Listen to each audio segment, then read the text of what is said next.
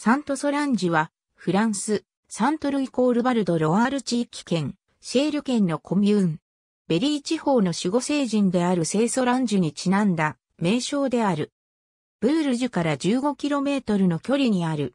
レゼクスダンギオンとは 7km 離れている。コラン川の小さな支流ウアティエ川がコミューンを横切る。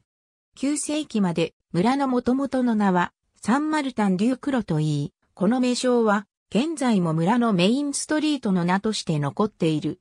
参照元1962年から1999年までは複数コミューンに住所登録をするものの重複分を除いたもの。それ以降は当該コミューンの人口統計によるもの。1999年までイヘス、カジニー、2006年以降 INSEE。毎年ペンテコストの月曜日、聖ソランジュを数形する巡礼が行われた。朝に教会でミサが行われると、聖遺物を掲げ礼拝行進が出発した。